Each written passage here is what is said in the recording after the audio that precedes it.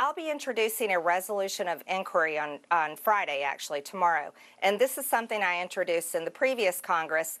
Every single Republican, including Mike McCaul, voted in favor for it. Representative Marjorie Taylor Greene has reintroduced a bill that would force an audit of all military aid the United States has sent Ukraine since the Russian invasion one year ago. Greene's legislation comes as the U.S. has committed tens of billions of dollars in military assistance since Russia invaded Ukraine last February. The Georgia Republican introduced the resolution of inquiry in the House on the one year anniversary of the invasion.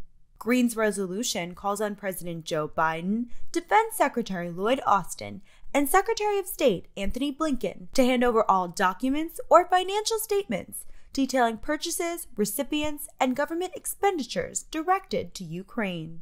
The resolution requests all financial documents recorded between January 2021, before the invasion, to now, at the one year mark of the war. The request directs information to be handed over within the next 14 days. The Pentagon recently announced a new aid package of $2 billion in military assistance to the war torn country committing to send the Ukrainian military more ammunition and high tech drones as it staves off Russian troops. Facts are that Russia invaded its peaceful, democratic, sovereign neighbor and that it tried to eliminate Ukraine as a country. And Ukraine is defending itself, and we're going to help Ukraine defend itself alongside the international community. The problem is that the warmongers and our supreme leaders in the Biden administration are so clueless, they are so stupid, and they are so disconnected with what the American people want that they are literally going to lead us into World War III.